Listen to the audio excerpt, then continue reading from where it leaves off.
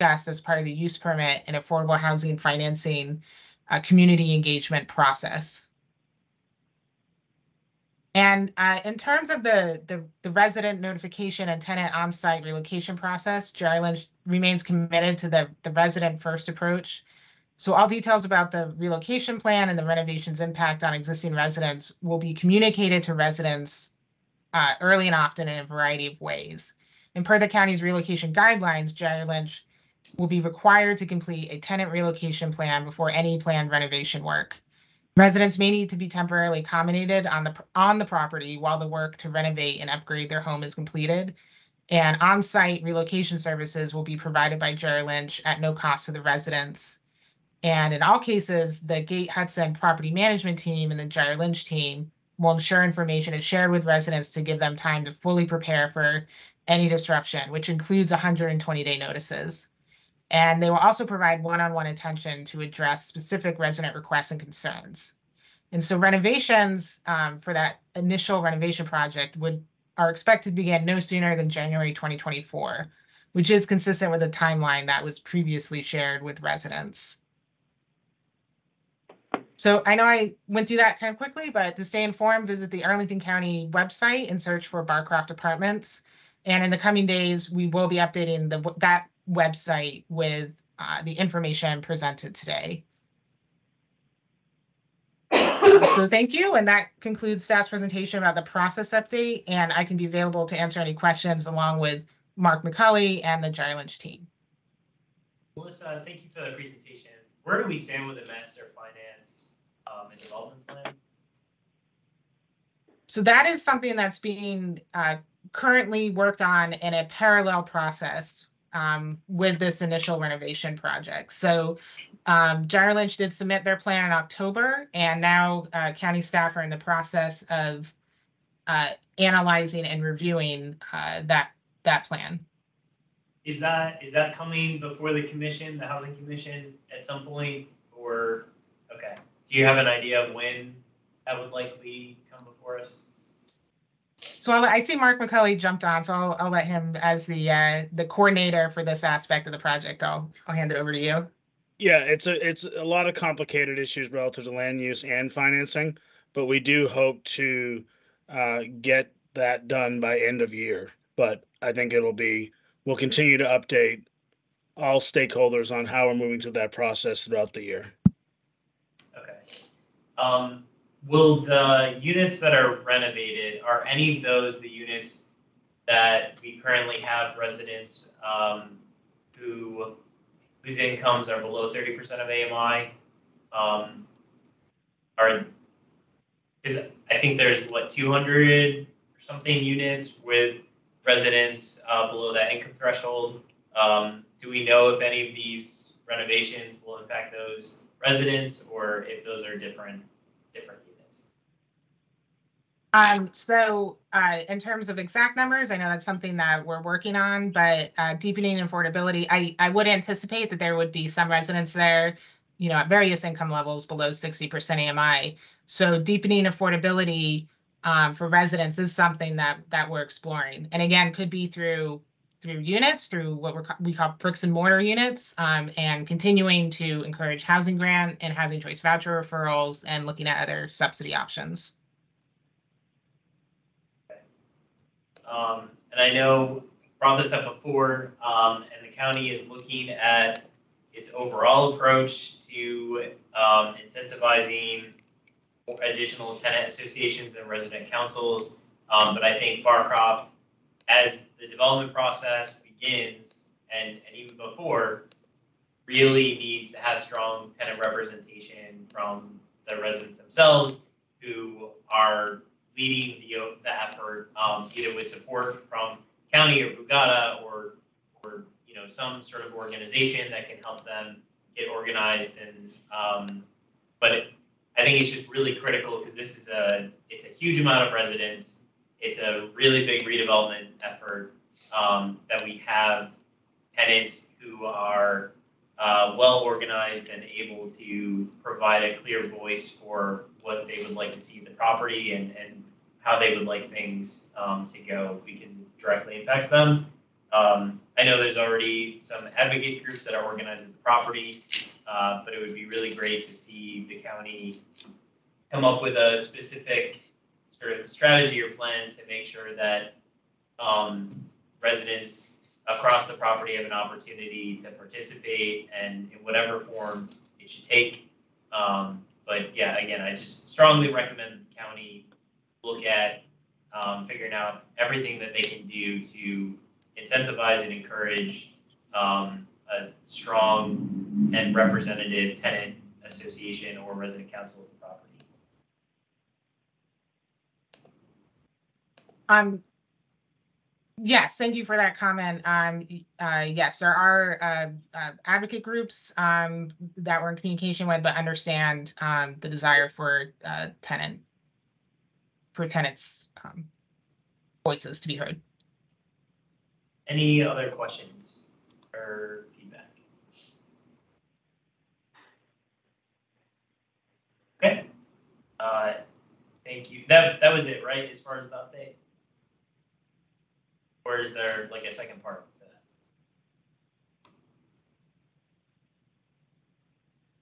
I'm sorry, I don't think I quite heard you. Oh, sorry, I was just clarifying that that was it for the Barcroft process update, right? Oh, yes, yes, thank Okay. you, yes. Thank you very much. Uh, thank you, Melissa. Thank you, the rest of the staff and representatives from Jair Lynch.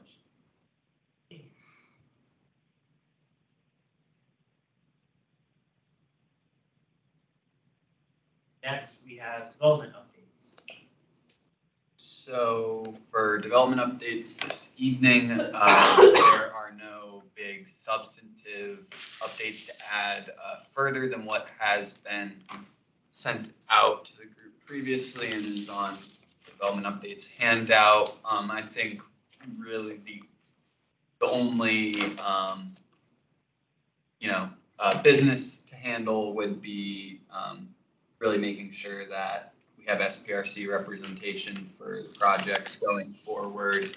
Um, I have heard from a number of people, um, volunteering for, um, different SPRCs, but, um, I can send that, uh, that chart around with all the meeting dates on it. Um, and if you're free, just let me know and I will add your name to it and, um, make sure that you have the information for the meeting that night.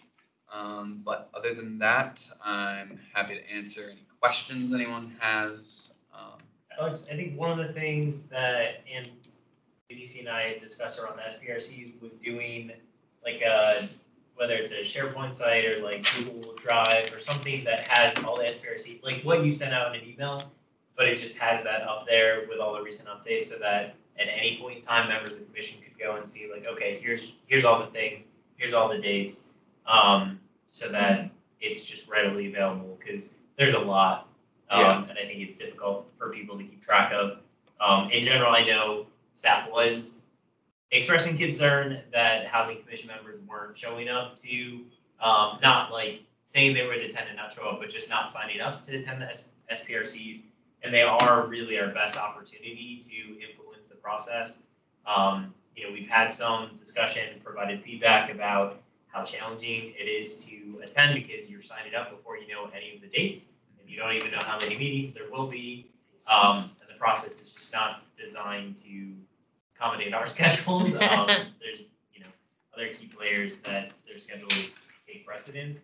So I get that it's really challenging, but it is really critical that we do have uh, housing commission representation in these meetings as much as we can. Um, it still doesn't solve the challenge of it's the commission doesn't get a chance to weigh in until after the fact, and as a representative, you're kind of on your own to provide your thoughts and feedback without being able to really consult um, the rest of the commission before you provide feedback. So it's definitely not like an ideal process um, from that stance or that regard. Um, so I think it's something that I'd like to continue having conversations with the planning commission and staff about ways that we can try to improve this and make it a little bit easier because it is pretty onerous. Um, but it also is really important and it does seem like that's our best opportunity to influence what happens. Um, as opposed to when they come here and it's too late. I have a question on that. When do you, when do we like talk about the meeting? Fortunately, I wasn't here last time, but I did go to the Wells Fargo Verizon meeting and it was a little overwhelming at first, as it was my first one, but then, um, it was fine. Do we, when, when do we discuss that? That's a good question. Is that development updates or is that subcommittee? So, um, it, it probably is development updates if, um, you know, you have that discretion. Um, but, yeah, um, SPRCs usually are set up. The first one, they talk mostly about everything other than community benefits, so architecture, build form, stuff that's a little bit more outside the purview of the housing commission.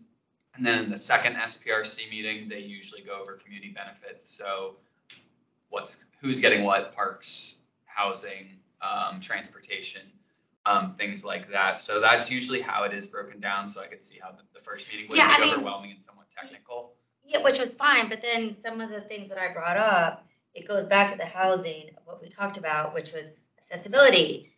Why is there only one entrance for residents and like things like that, which from what I remember from this commission, we, we talk about that. know, Um, just equity, inclusion and, and stuff like that, especially my case, Wells Fargo. Um, So it might have been a little overwhelming, but hopefully, because that architecture then goes into everything that they present here, where we're like, okay, well, we can't really say anything at, at that point. Um, yes or no kind of stamp. But that's just- that was my question. I have my next one, uh, the seventeenth of April Yes. for the Wells Fargo. I'm actually seeing it's, it must have been cut off. Because that last one is crystal.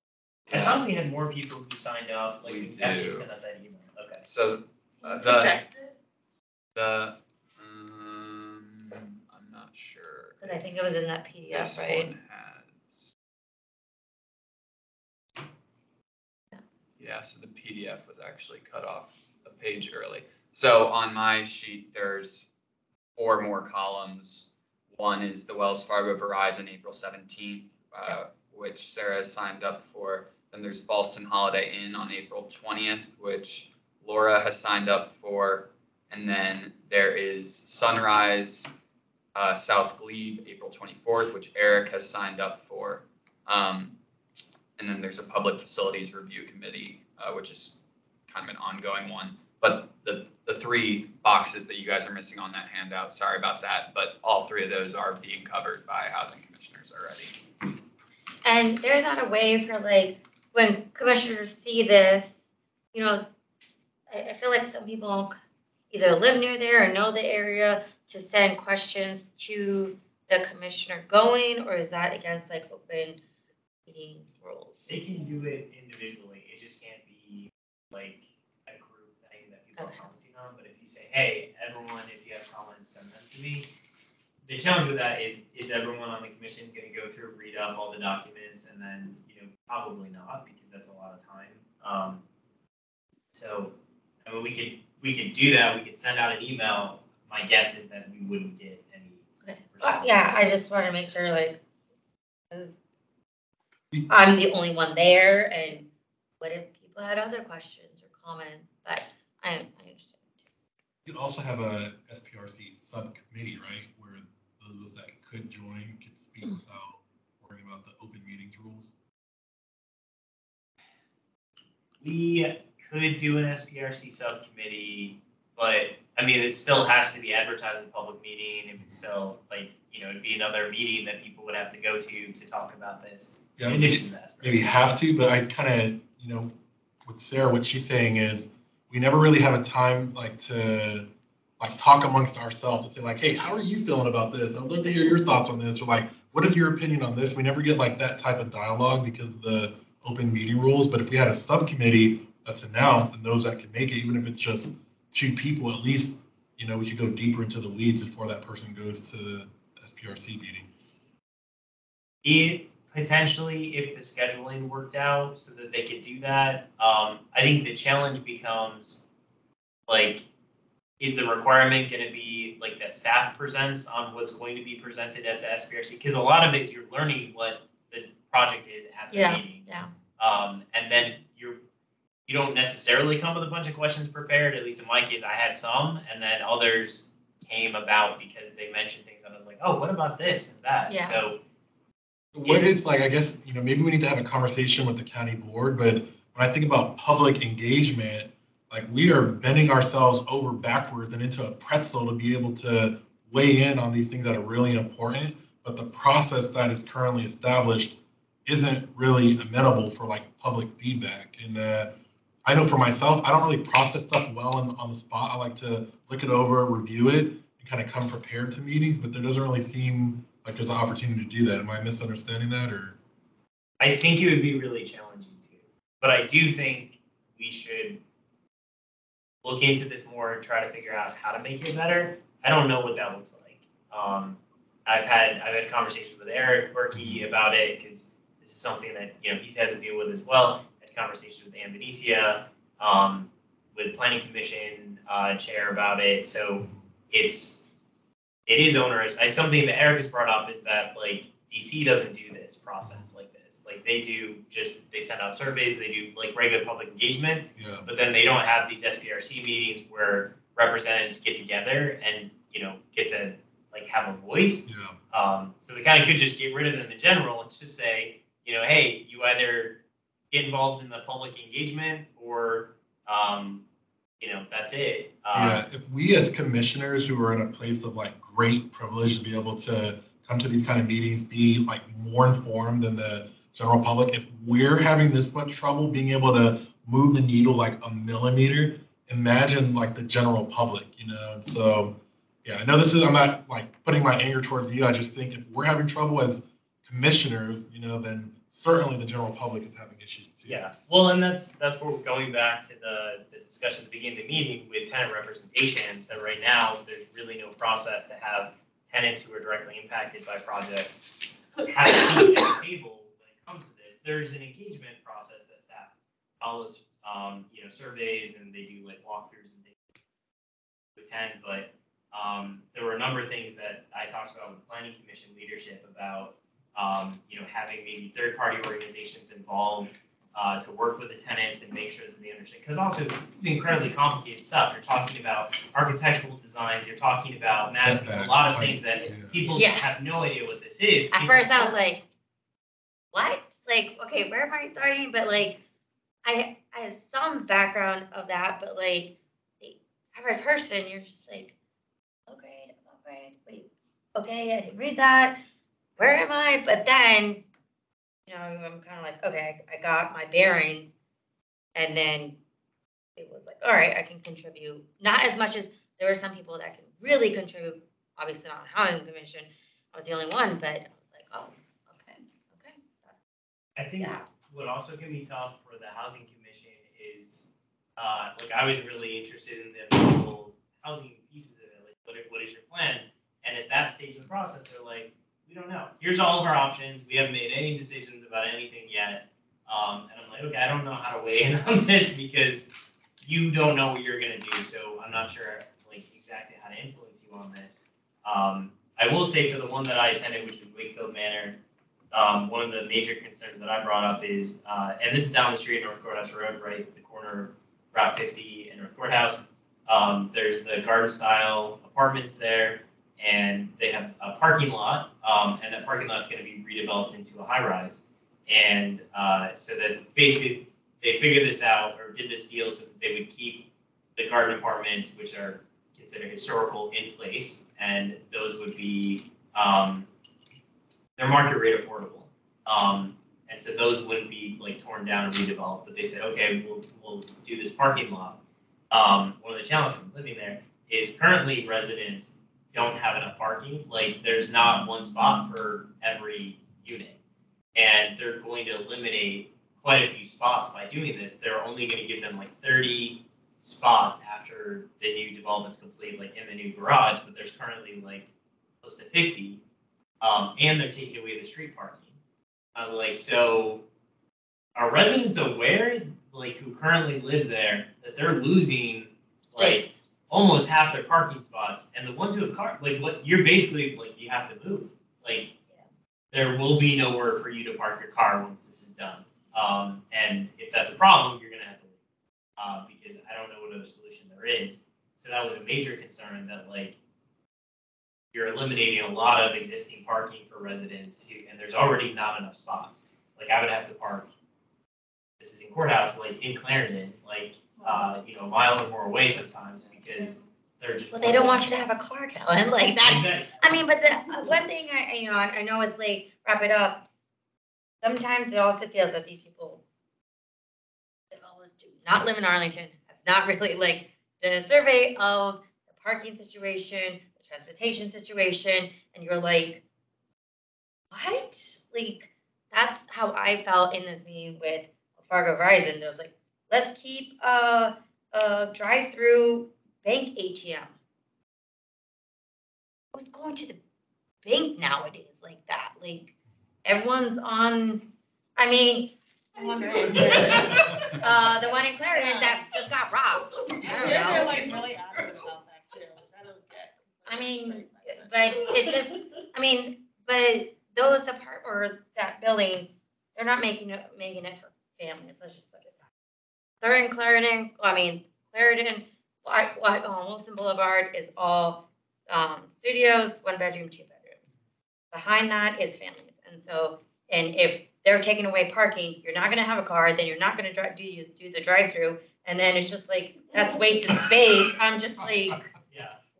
what? There's no parking in Clarendon right And now. I think one of the concerns with like the car-free diet too, I get from a cost perspective, it's much cheaper to have less parking, right? You can build more units, which we need. The problem is, I never drive my car, but I do need to drive my car sometimes. Like when I visit family out of state, which is like once a month, once every other, I need a car for that. So I need a place to park it for all the times I'm not using it. Um, so, you know, I can walk to most places I go, so I'm, from an environmental standpoint, I have those benefits, but I still have to have a car for other things, like when I do need to use it. And I think the challenge is, like, we're just parking because we don't want people to drive. Sure, I can walk, but there's gonna be some things that I have to drive to, but that's separate issue, um, but I hear you. But yeah, so that was one of the major concerns, that and for the new building that they were gonna set up, they originally were thinking of doing like a kind of green space, like patio, that was uh, at grade. Um, and then in the revised design, now it's gonna be elevated, so only people in the new building can access it. The people that. This is a great discussion. Imagine if we had a whole subcommittee where we could just talk Right? about this stuff. Imagine that. We could, I don't know how many people would show up. Full-time Uh, But yeah, so there were nu- numerous concerns that were raised, but not just by me, but other people as well. I we lost pretty much everything. But, um, Oh so yeah, that's what's happening with SPRCs. Yeah, I mean, sorry for this, the tangent, but I was like. okay, don't- So I think, I think that is it for our meeting. Uh, we can adjourn. Thank you all for your patience and, um, all your comments and questions. Today, I think it was a good meeting. Um, you know, all- Um, and next meeting hopefully will be shorter. Well, we always say that. We say that for three years.